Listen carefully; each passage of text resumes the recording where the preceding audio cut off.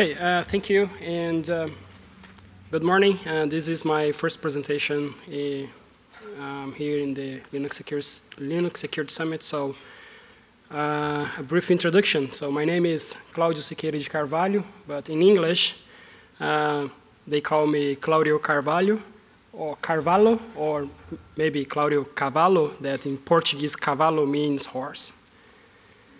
it's a little bit funny, but okay. and uh, um, so TPM chip, I'm, the TPM chip is a crypto processor and uh, it provides uh, several capabilities. And uh, if you go to the internet, you can see some TPM use cases. Um, but today I want to talk about the, how we are, we are using the TPM NVRAM to protect secure boot keys in open power. In Power 9 open power systems, this is, is, the, this is the outline. So before uh, showing uh, how we protect the secure boot keys in Open Power. I want to give you a brief introduction on, on Open Power Secure Boot and also describe the problem and then show how we um, protect the secure boot keys in, Open Power. So the secure boot team, uh, Open Power secure boot team, uh, we have several contributors and contributors and um, I work in the IBM LTC security team, um, and uh, IBM Linux Technology Center, actually, and in the security team in the, in the LTC. Uh, and I, I'm a, a, secure interested boot developer, and I have led um, the development team, um, the secure trusted boot development team, uh, in the LTC security, but we also have contributors uh, in other, other contributors in, in the LTC security and also in the Linux Technology Center, also IBM Power Firmware and IBM Research. So a disclaimer, so this work doesn't represent my view. Uh, actually, it, it, represents my view, not IBM's view. And all design points disclosed, disclosed here um, are uh, subject to, to finalization and upstream acceptance. And the features which I'm going to describe here, they may not ultimately exist or take a, described form in, the, in, a product. So I don't know uh, how familiar uh, you are with Secure Boot. So uh, Secure Boot, what is Secure Boot for? So Secure Boot aims to pre prevent untrusted code from loading during the platform boot. And for that, it uses digital signatures uh, so that uh, only code uh, signed with trusted keys are started during the platform boot. Uh, but what is Open Power Secure Boot? First, I should say that Open Power is open source. Uh, open Power firmware is open source. You can go to the, to the GitHub, uh, the Open Power um, organization in the GitHub, in, and there you can find the, the source code of all firmware components that we uh, load in the firmware stack. Uh, and we, you also find the OP build project that we use to build an open power um, uh, image that you can flash, you, you, can clone that, that OP build repository and use it to, to, to build a, a, an image and a firmware image and also test the firmware image. The instructions is, is in the README file. So Open Power Secure Boot, uh, it's divided in, into two domains. Uh, firmware Secure Boot uh, applies to all the firmware images we load um, up to the bootloader. And OS Secure Boot applies to the, to the, to the OS kernel images. And that gives us some flexibility. Uh, for example, we can enable firmware secure boot, but disable OS secure boot if you want. Um, and we can also sign the kernel with different keys. We don't need necessarily to sign the kernel with the same keys that we use to sign firmware. This is a Power 9 boot flow. Um, it describes in a high level the boot flow in a Power 9. But I think we don't have time to go through this, all these components here in this presentation. So if you're interested on this, to know more about the, the, boot, the Power 9 boot flow, you can go to the link I have down here, down there. Um, instead, I'm going to use this very simplified boot flow here.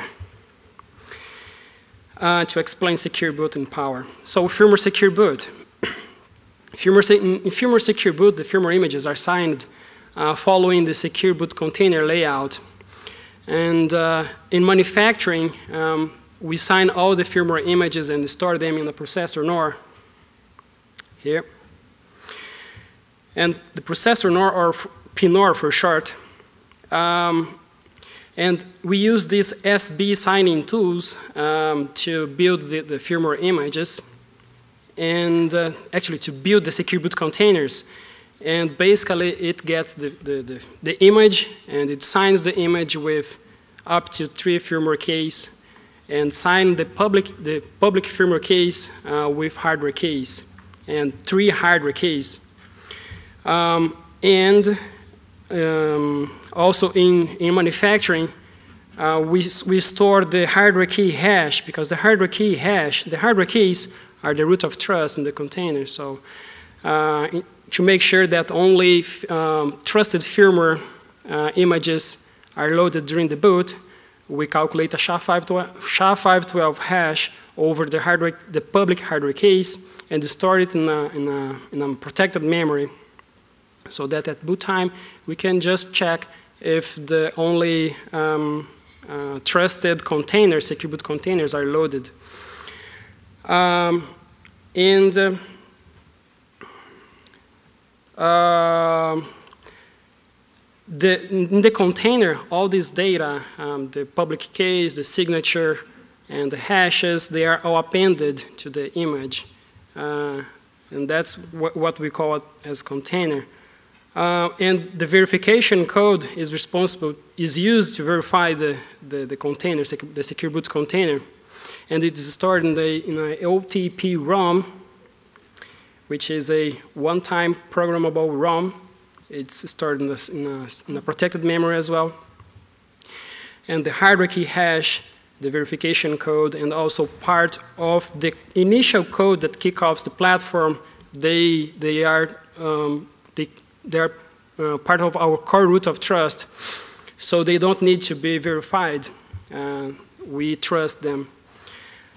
Uh, and secure boot in firm, the firmware secure boot can be enabled by a hardware setting in the motherboard, uh, which is platform dependent.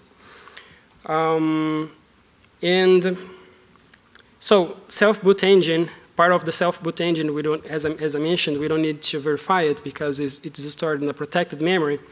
But all the other images, subsequent images, host boot, OPAL, and OPAL here stands for Open Power Abstraction Layer. All the subsequent images need to be verified. The secure boot container needs to be verified uh, because they are all stored in the processor NOR. And firmware secure boot is upstream. Uh, here I took a screenshot uh, OPAL screenshot. So OPAL, this level. And as we can see, all the images loaded by OPAL at boot time, they are verified. And, but even if um, the verification failed, in this case, uh, the, the, the boot wouldn't be aborted because secure mode here is disabled. So if in any of these stages, host boot, OPAL, secure root, if any of these stages, if the verification fail in any of these stages, the, the boot is aborted and the image is not loaded. Uh, we also have the hardware key hash here in the device tree if you want to take a look at the hardware key hash, the trusted hardware key hash actually. OS secure boot. So the OS secure boot is this is a work in progress. We are still working on the design and also implementation. And the secure root is, is a secure boot container, and when it's loaded, it's verified. Uh, but as you can see, the secure root is a Linux kernel with embedded initramfs that runs Petitboot. And Petitboot is our bootloader. It's a kexec bootloader. It uses kexec to, to boot the OS kernel. And it reminds me the, the panel discussion we had yesterday uh, where they discussed uh, Linux as a firmware. Uh, so in the current design, uh, the OS kernel the host OS kernel is signed with sign file, which is the same tool used to sign kernel modules, and the signature is embedded in the, in the file.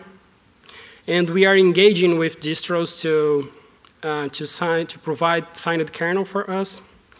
Um, the OS kernel is verified uh, at the skiroot kernel space uh, at boot time. Oh, verified at the skiroot kernel space by IMA appraisal. Uh, and we are adding support to signature, append, uh, uh, adding support to appended signatures to, uh, for uh, to IMA appraisal. And we are also defining a, a platform keyring where we are going to put our, our keys so that IMA appraisal can verify the kernel. So still in the current design, we want to reuse the kernel code that supports EFI as much as we can, and especially the EFI vars file system, because um, with the EFI vars file system, we can use uh, uh, user space tools, such as the EFI var user space tools, to manipulate the secure boot variables. Um, and in order to, to enable the EFI vars file system, we we don't use the EFI system tables. We only need to set uh, these runtime services here, the get, variable get next, variable set, variable query, query, variable info. And we set them to, to call open runtime services that will provide access to the, to the key store stored in the, in the PNOR, in the processor NOR. This part is already prototyped. Um, Still in the current design, uh, we are in the process to request distros to build the efivar package on PowerPC 64LE. And uh, we use the EFI, as I mentioned, you use the efivar to manipulate secure boot variables. Um, and in the secure boot variables, we store X509 certificates. And these are the, the, the secure boot variables we use uh, the platform key, the key exchange key, and authorized signature database. So uh, the, the platform key, or PK for short, it's the root of trust for the OS secure boot. And when it's set, um, updates to any secure boot variable uh, requires authentication, which means that if I want to update the platform key, the PK, um, the update the PK update needs to be signed with the current PK. If I want to update the KEK variable, um, the KEK update needs to be signed by the current PK. And if I want to update the DB variable, um, the updates need to be signed by the one of the KEK entries, one of the KEK uh, keys. And if the PK is set, uh, it also requires um, authentication uh, when we try to load a, to boot a kernel or a kernel.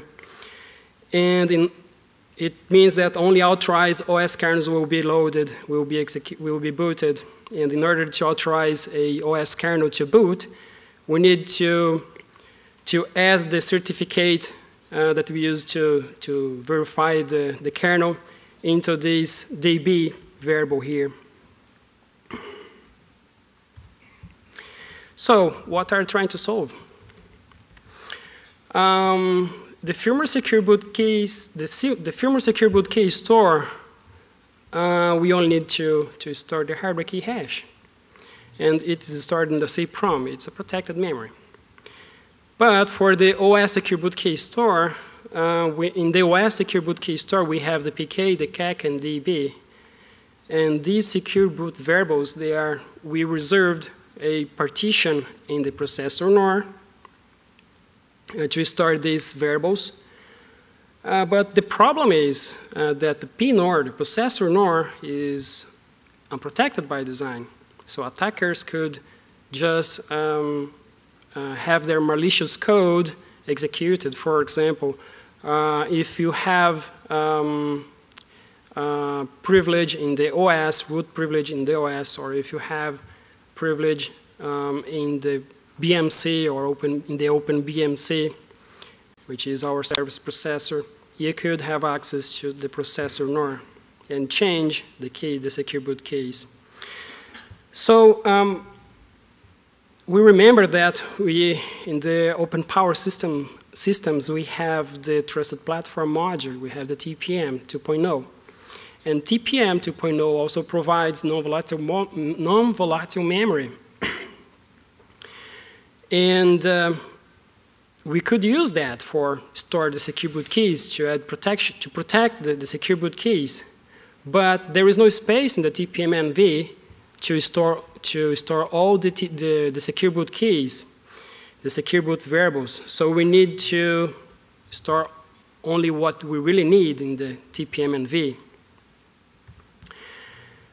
So let's see how we use the TPM NV to protect the secure boot keys. Let's discuss this, these issues here that we are addressing, the integrity, how we authorize access to the TPM NV, and what variable should we store in the TPM NV, and how do we provide atomic variable update. So integrity. Um, the keys, uh, since the PNOR the, the processor NOR is not protected, the keys could be modified without notice. And that's why we, we, we calculate a hash over the variables we store in the PNOR. And with that hash, we can detect uh, integrity issues. It's also a five SHA, uh, SHA-512 hash. And we store the hash and also the size in the TPM-NV. And the keys would be consumed, the variables would be consumed only if the, this integrity check pass, so only if the keys are valid. Okay, how do we authorize access to the TPM-NV? Um, we store data in the TPM-NV, so we need to control access to the, to the NV. There are a few options here. We could, for example, set a policy uh, TPM policy to access this, the, the data, the, NV data. We could share secrets with user space because the, this data should be, uh, we should provide access to this data only for trusted entities. We could provide access to user space, but we, we would need to, to share secrets. We would need to define a policy, and that, all that would uh, complicate the design a little bit. So instead, we just write lock the, the NV memory uh, at boot time until the next boot. And that also adds a restriction in the, in the design because the NV memory we allocate, it will be open uh, only at boot time, which means that if we have an update to the keys, to those variables, those updates should be processed only at boot time because that's the only time frame that we have the NV open. And that's why we, need, we also need to have an update queue. So if user space wants to manage the keys, all the updates should go first to the update queue, and then at boot and reboot the system, and at boot time, we, we process those updates. And um, this, the SecureRoot Linux kernel is responsible to process those updates at boot time. And so um, the, the SecureRoot Linux kernel will process the, the, updates, and when the, kern, the SecureRoot kernel is done with those updates, it will uh, write lock the, the NV memory allocated until next boot. And what variable should we store in the, in the NV? Well, if the platform key is lost, we lose root of trust. And OS boot would be broken because re, uh, authentication wouldn't be required to, uh, to, modify, to, mo to, modify the keys, uh, nor to, um, to boot a OS kernel. And that's why we store the, our root of trust, our plat the platform key, uh, in the TPM-NV. What about the other, the other variables we have in the processor NOR? Well, the KEK and DB, we, we, we still store them, we continue to store them in the, in the processor nor because we don't have space to store them in the TPM-NV because TPM-NV is small. It's less than 24K. Um, and uh, if we, if uh, the, the integrity check fails on these variables here, uh, we will not use them, but uh, there is no, we don't need special procedure to, to recover those variables. We can just submit new updates to those variables. Um, atomic uh, variable update. Well, now we have two storages. We have keys in the, in the processor NOR, so, and we also have keys in the TPM NV.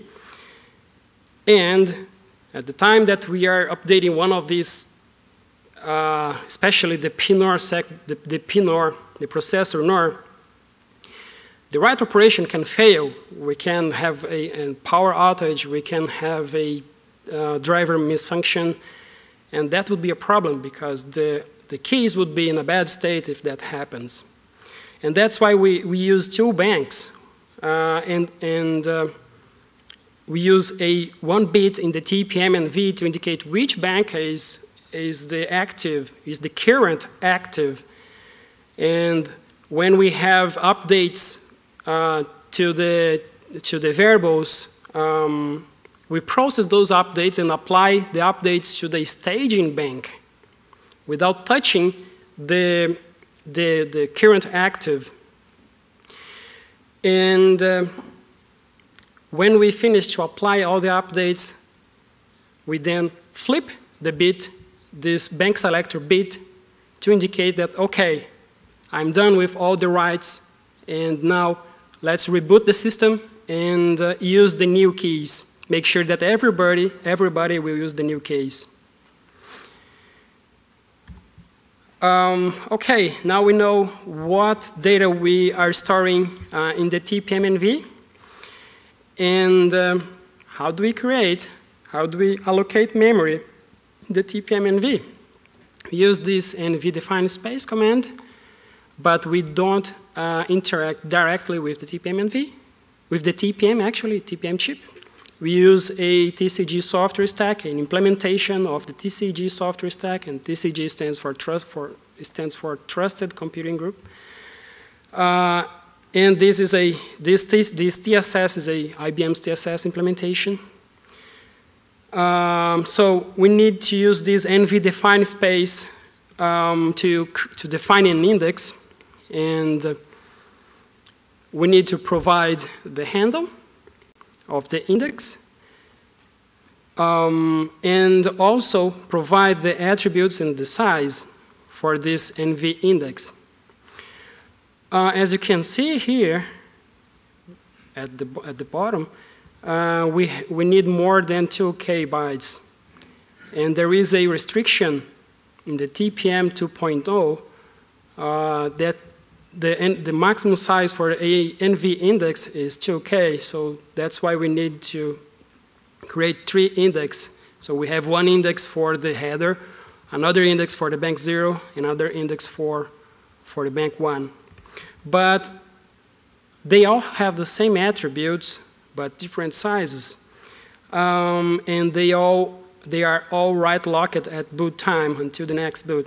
So here uh, we need to provide to create this, to define these index, indices, we need to provide the, the TPM platform authorization and also uh, define this, um, uh, the, the, the, the NV attributes. Define the NV attributes. And there is another command here, NV read public, where we can read the, the NV index attributes and here it shows that it's six bytes, the size is six bytes, and the attributes are NVPP write, all these attributes here, and PP write and off write means that uh, the, the, if you provide the platform authorization or the index authorization, you should be able to, to update this, to write to these indices, to these indices here. And it, they are all ordinary indices. um, it, which means that we can store any data structure in those indices. Write st clear means that if write, if write lock is, is called, uh, the, the write lock bit will be cleared when the TPM is reset or restarted. And platform created means that only the platform authorization, uh, only if we provide the, the, platform authorization, we can um, undefine this index, these indices. Firmware secure boot NV index. Well, I didn't mention that we, we, also, we are also storing uh, data for the firmware secure boot, but we are. Uh, so we, we define one index, and the, in, the, in, the, in this index, index, we store only the hardware key hash because we have two domains, and if the firmware secure boot domain, um, if the hardware key, if the hardware keys are changed in the firmware secure boot domain, that means we, we need to invalidate the root of trust of the OS secure boot or in other words, invalidate the PK. And that's why we, we also need to store, to have this uh, uh, firmware NV index. We have other commands here. So NV write, we can write to the index, and we need to provide the authorization. Here I'm using the, the platform, TPM platform authorization. And after, and I write, in this first command, I write Linux Secured Summit to, the, to this index here and then I read and set the output file to, to the lss.txt, and after that I just hexdump the lss.txt just to make sure that I have the content that I just wrote. So we can write lock the NV index until the next boot, uh, until the next TPM reset or TPM restart. And after we write lock the index, we, if we write, try to write to the index, it will tell us that it's write locked. Uh, we can undefine an, NV index, and when it's undefined, und in order to undefine any of the index indices we, we define, uh, you need to provide uh, the platform authorization, the TPM platform authorization. And once, after you, you define, you undefine the index, uh, if you try to read from that index, it, it no longer exists. There is also a command to set the platform authorization to a non-default. It's important because um, if you leave it with the default um, password, uh, an attacker could just undefine our index, even, even if we write lock the index. So this is the uh, OS secure boot architecture with the, up, the TPM-NV updates.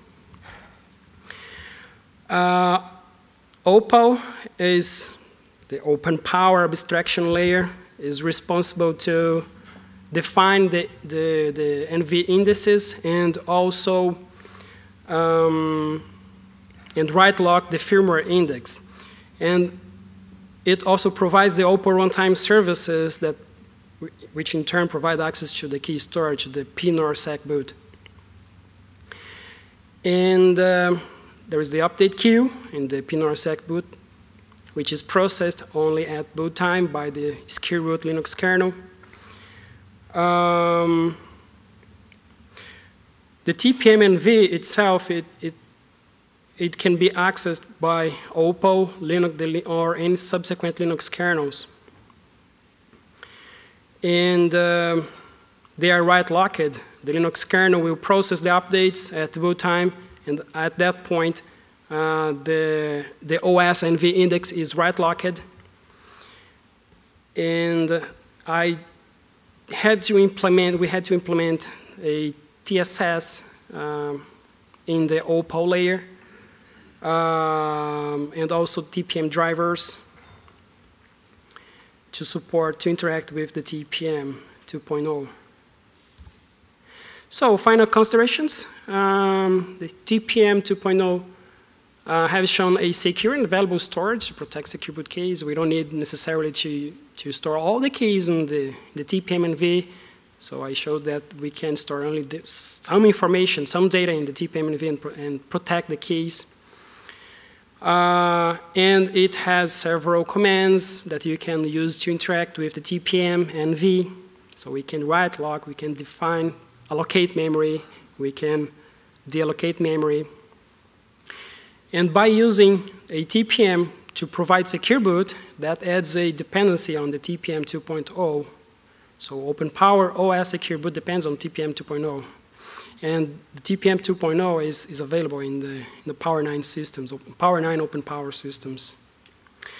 Sharing the TSS code throughout the firmware stack is challenging because um, the firmware stack, each, each, each component in the firmware stack has different requirements and they don't need to have a full TSS implementation um, and we don't have um, trusted, uh, protected memory to store a TSS implementation, so it's challenging. And verbose mode, um, well, the, the, IBM's TSS implementation, it provides verbose mode. You can just pass dash, dash V um, in the command, and that will show you all the, the, the steps um, that it goes to send the command to the, to the TPM chip. And I think that's very interesting. That helped me a lot because I could see what, what's the stream byte, uh, that what is the byte stream that was sent and received from the TPM. So it was good for me to validate the commands or the, the implementation uh, in the firmware stack. And here's some references. Uh, Open Power Foundation, you can find more information about Open Power systems in the Open Power Foundation. And the firmware is open source. You can find the firmware in the GitHub. If you want to know more about Power 9 boot flow, you can go to, that, to this other one link here. And in the following one, you have more information about Open Power Secure Boot, firmware Open Power Secure Boot, Trusted Platform module, all the specifications are available in the TCG website. And uh, IBM's TSS implementation, it's open source, you can find it in this link here. And that's it, unless anybody have any questions.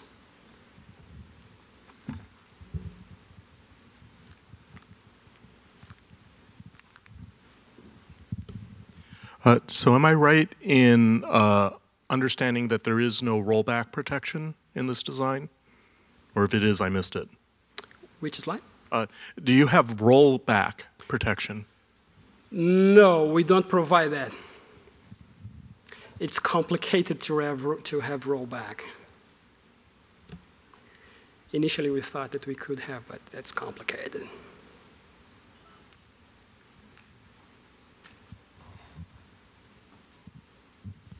Thanks for a talk. Uh, please correct me if I'm wrong. So secure boot uh, helps to verify that our kernel, operating system kernel, is um, not compromised, right? And uh, can you, at the same time, use TPM for verifying that your firmware is not compromised? So, yeah, like uh, like bootguard or something like that. Yeah, we provide this feature in the firmware secure boot here. So all the boxes in yellow is firmware, is the firmware stack. The secure boot is bootloader, and here's the host OS kernel. So we use, uh, we provide, we boot only um, um, um, firmware images that are trusted in this case here. If they are uh, signed with the, the keys we trust, which means the hardware keys. So they need to be signed with trusted keys, and the trusted and that hardware key hash, that hardware, those hardware keys, those keys need to be the trusted one, that the, the keys we trust. So that's how we provide sec firmware secure boot. Does that answer your question? And does this use TPM uh, for this key, for this uh, root of trust? Where it is stored? Um, I'm not sure if I understand your question, but we use the TPM as a storage, and we also use the the all the um, the capabilities that it, it, it, provides to to, to restrict access to the NV. Yes. So uh, you use TPM both for keys for, for- firmware verification and both for No. for uh, secure boot No, we use the TPM only for, for the OS. So only for store keys, keys uh, that we use to boot the OS. Uh, the other keys are stored in the container. So in the container, you find the public keys, the signature, the, the secure boot container, you find the, the, the public keys, the signature, everything that is required to verify that image. But okay, how do I, how do I know that that container is trusted? Well, I use this verification code here to do this, to check if the container is valid, the format is valid, and also to verify each signature, and the root of trust is the hardware keys. So I just calculate a hash of those hardware keys available in the container and compare with the hash that I have, that I have here stored in the protected memory. If those two hashes match, that's okay. I can uh, trust that container. Thank you. Just two more questions.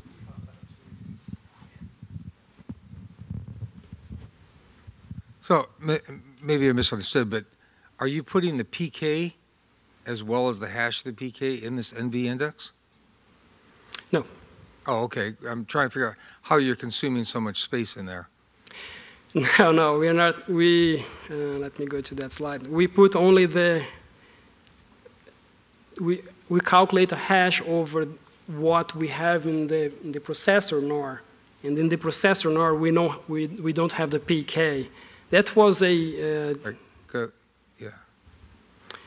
Go, yeah. here no here. Uh, so this hash is calculated over KEK and DB Right. only. Okay, but those aren't 2K in size. I'm trying, I mean, you- you're consuming a lot of NV space. Yes. we- Trying to figure out what, I'm not quite understanding what's in there. A hash isn't that big. That, that's what I asked, and he said no. The, the key, the P, so why are you putting the PK in the NV? because we. Uh, The we hash will protect it. You don't need the whole PK in there. Yeah, but if we if we have a with the hash we can detect integrity issues. But You keep the PK outside, Yes. verify it with what's in NV, and then you can use it. The problem is if the integrity check fails on the variables I store in the processor NOR, I can't use those variables anymore. And if the PK is there, well, my root of trust is compromised. I can't trust on any on on any any code that is loaded from that point on. So it's a, it's not a, it's a reliability issue you're concerned about, Mm-hmm. not necessarily secure, but you have two banks. Yes, we have. Okay, all right, but if, if the module fails, if the PK is wrong, and if, or if the, the code is wrong and the PK doesn't verify it, you're still in a non-boot situation. If someone can attack the PK, they can attack the rest of the code, mm-hmm. and then that code won't verify, and you're in the same position as if the PK was messed with. So I'm still not seeing the benefit. Yeah. Yeah, in our case, PK is in the TPM-NV. I'm trying to understand Yeah. how could someone change the PK in the TPM-NV if No. we write lock it. I think we're out of time. We can talk offline. Yeah, yeah, sure. Thank you, Monty.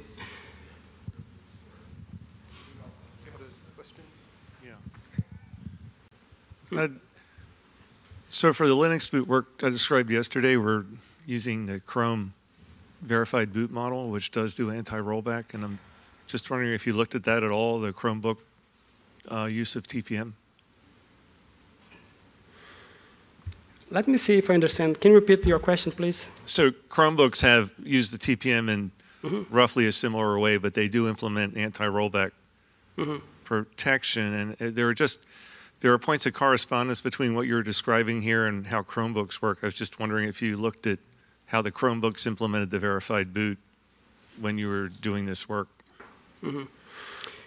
Yeah, I'm not aware of the Chrome OS implementation. Okay, I I think it'd be pretty rewarding. Yeah. This is neat, but I think that that would you know, help a little. And your, your EFI services thing looked really neat. Was that a kernel module?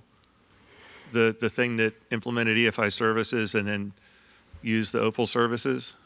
Yeah, that part is still uh, in progress. Um, we need to find a way that only that that part is loaded. That I think it's, it's going to be a module, but Okay. Not a module, but Literally something, of the- something that we can disable using a kernel symbol. It is part of the Linux kernel, though. The, the Yes, That's yes. neat. Okay, thanks. That, I, that was I was curious about that. Thank you. Yeah, yeah. The the skiroot is a fork of the vanilla kernel. Okay, so we're a little over time, so Thank you. follow-up questions later. Thank you. Obrigado.